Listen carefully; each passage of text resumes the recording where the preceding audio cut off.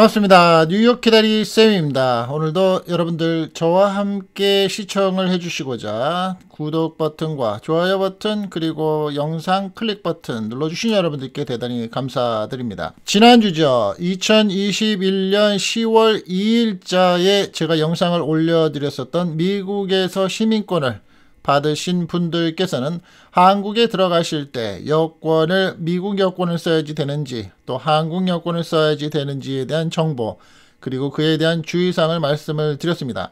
많은 분들이 시청을 해주셨는데 그에 대한 궁금증이 공통사항으로 나오신 부분 중에 하나가 국적 상실에 대한 부분이셨습니다.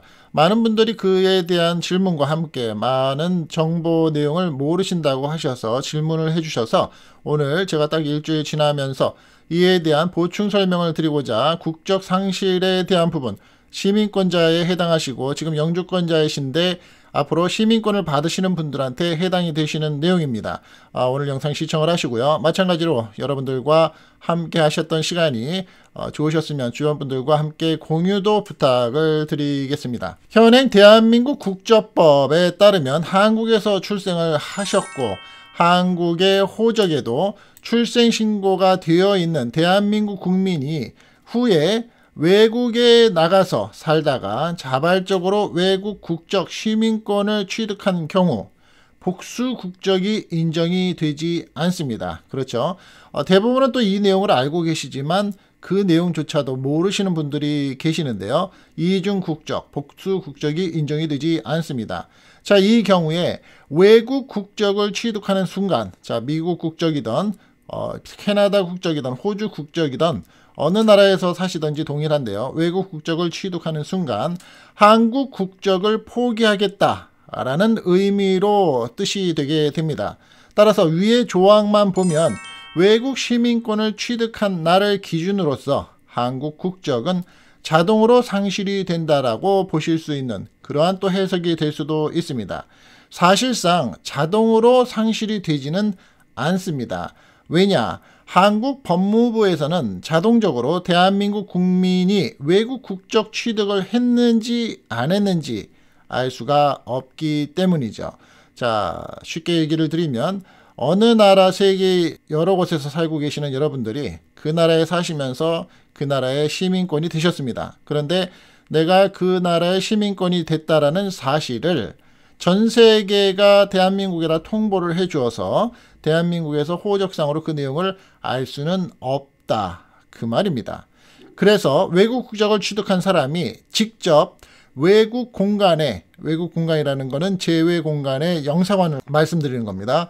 외국 국적의 취득 여부를 알리면서 나는 대한민국 국적을 포기한다는 국적 상실 신고를 하셔야지만 된다라는 소리입니다. 자, 이 내용에 대해서 많은 분들이 이거 진짜로 해야 되냐? 의무사항이냐라고 물으셨는데요. 의무사항이십니다. 국적 상실 신고를 직접 하셔야지 되고요. 해야지만 되십니다. 아파에서 말씀을 드린 것처럼 안 해도 나는 사는데 문제가 없지 않았느냐. 근데 문제는 없습니다. 한국을 들어가실 일이 없다면 들어가시지 않고 사신다면 미국이 되었건 캐나다 되었건 캐나다에서 계속해서 사시면서 앞으로 한국을 들어가지 않으신다면 국적 상실 신고 꼭 하지 않으셔도 되겠죠. 하지만 한국을 들여가려고 하시거나 앞으로 들어갈 일이 있다라고 하신다면 이렇게 국적 상실 신고는 본인이 직접 하셔야지만 됩니다. 자, 국적 상실 신고를 하면 가족 관계 등록 부가 한국에 있는 어, 가족관계 등록부 예를 든다면 예전에 호적 등본, 호적 초본 이런 거로 생각하시면 되는데 그 말이 다 없어졌죠. 가족관계 등록부가 정리가 되어서 후에 가족관계 등록부 상에 국적 상실이라는 내용이 이름 옆에 추가가 된다라고 보시면 됩니다. 클리어 하셨습니까? 자 그렇다면 또 두 번째로 많이 질문해 주셨던 부분인데요. 신고를 어떻게 하느냐라는 부분이었습니다. 자 미국이나 캐나다나 호주나 어, 사시면서 국적 상실 신고는 외국 국적을 취득한 여러분이 거주지에 살고 계시는 관할 영사관 또는 대사관이 있으면 대사관에 방문하셔서 신청을 하실 수 있습니다. 법정 대리인이나 배우자, 사촌 이내의 친족이 대신 신고도 가능하다고 알려져 있습니다. 현재 어, 미국을 기준으로서 미국 내의 모든 대한민국 영사관 및 대사관은 확인을 해보면 방문을 원칙으로 하고 있습니다. 2020년 11월 기준으로 봤을 때의 코로나 사태 이후에는 모두 방문을 원칙으로 삼고 있고요. 국적 상실 신고에 기재된 처리 소요 기간 얼마나 될까라고 나와 있는데 보통 6개월을 예상하시면 됩니다. 이것은 아, 보통은 이제 최대 6개월이기 때문에 6개월 미만으로 걸릴 수 있다라고 이제 받아들이시면 되고요. 실제로 처리 기간은 더 짧을 수 있겠죠. 신고 기간과 어, 벌금에 관한 내용인데요. 신고 기한이 따로 정해져 있습니까? 내가 어, 영주권에서 시민권을 받자마자 바로 신고를 해야 됩니까? 또 이 질문도 많으셨는데요.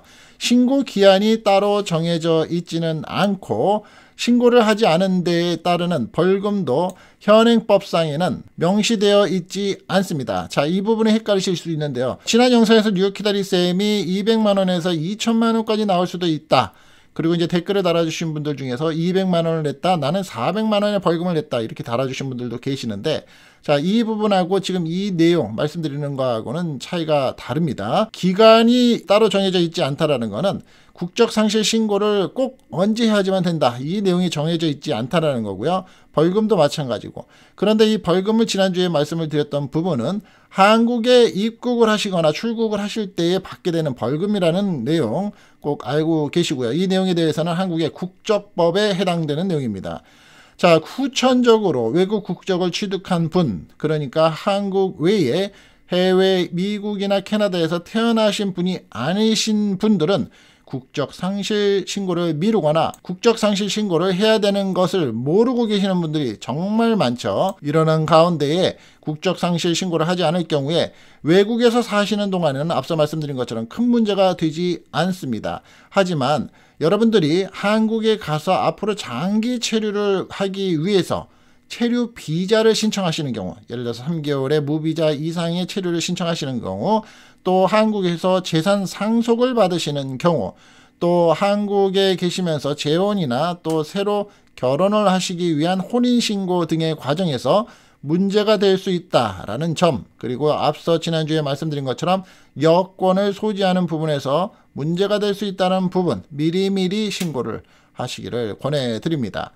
미국 시민권을 취득한 한인 부모가 국적 상실 신고를 제때 하지 않아서 자녀가 한국에 비자 신청을 할 때에 문제가 생기는 경우가 최근에 많습니다. 뉴스에서도 많이 보셨을 겁니다. 뭐 아들 같은 경우에는 복수 국적을 선택하지 않아서 군대에 가는 문제에 대해서 선택을 하지 않겠다, 선택을 하겠다 이렇게 하실 수 있는데 딸을 가지신 분들은 또 다르죠.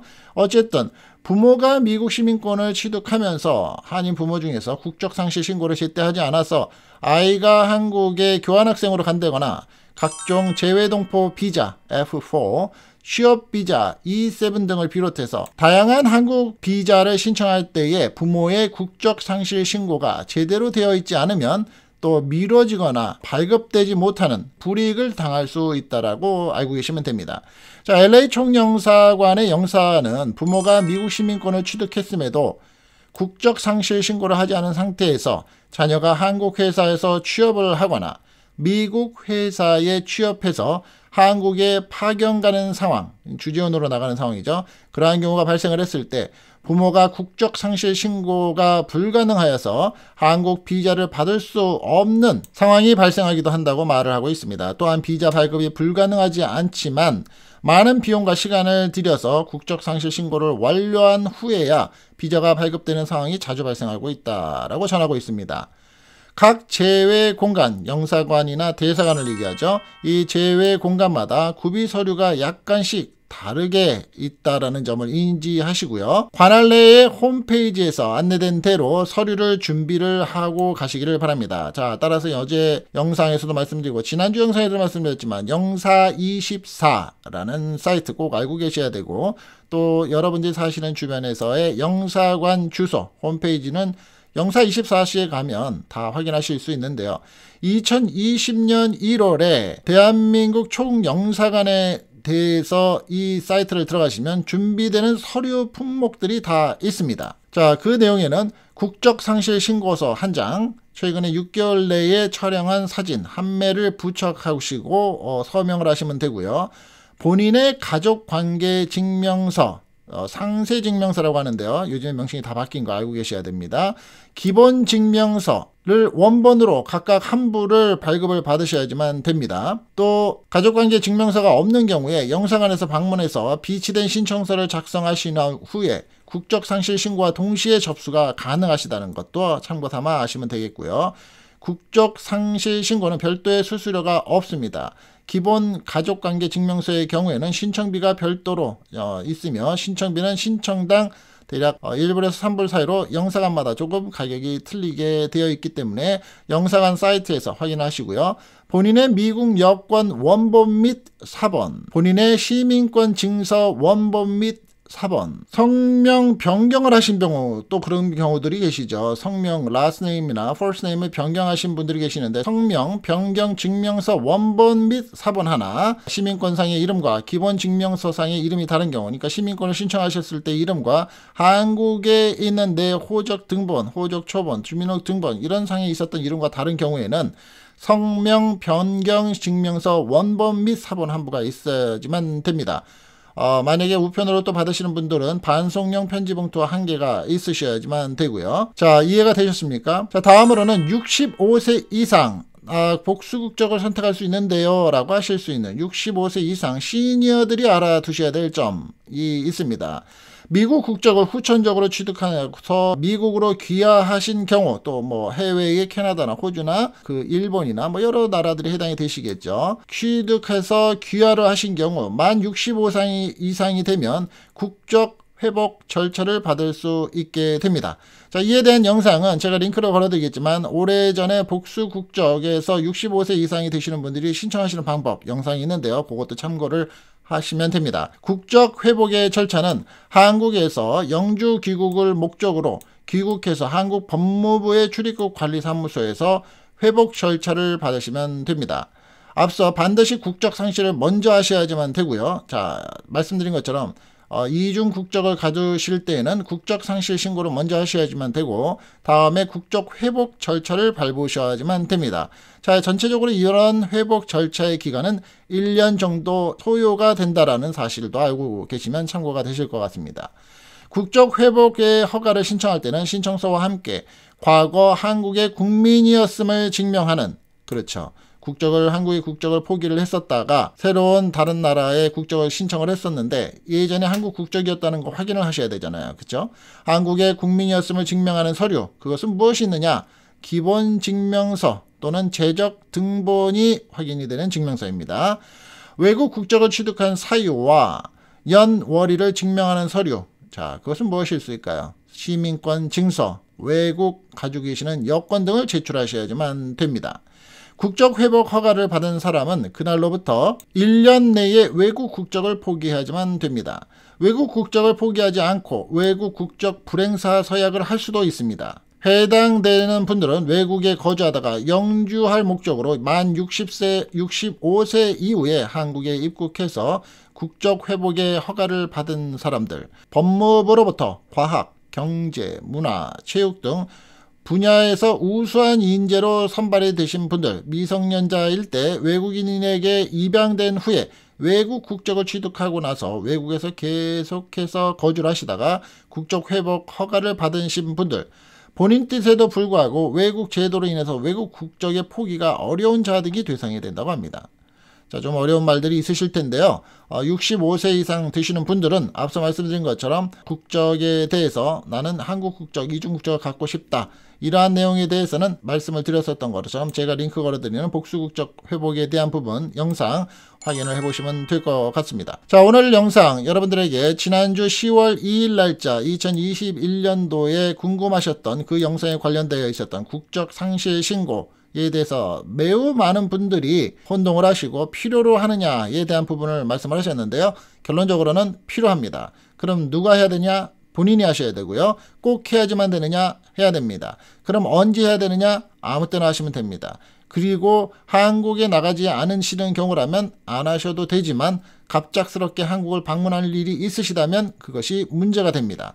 또한 영사관을 통해서 이런 정보를 꼭 다시 한번 확인을 하시기를 바란다고 권해드렸다는 내용 어, 다시 한번 짚고 넘어갑니다. 지난주에 방송해드린 내용에 오늘 많은 분들이 좀 도움이 되시기를 바라고요. 자 오늘도 영상 내용이 좋으셨으면 좋아요 버튼과 구독 안 하신 분들이 오늘 시청을 하시면 구독 버튼과 함께 다음 영상에서 더 좋은 모습으로 여러분들과 찾아뵙고요. 오늘의 관련된 영상에 대해서는 제가 영상 설명 밑에 보시면 각 링크를 걸어 드리겠습니다. 그에 대한 영상 보시고요. 어, 여러분들 도움되시기 바라겠습니다. 오늘도 뉴욕 기다리 쌤이었습니다. 감사합니다.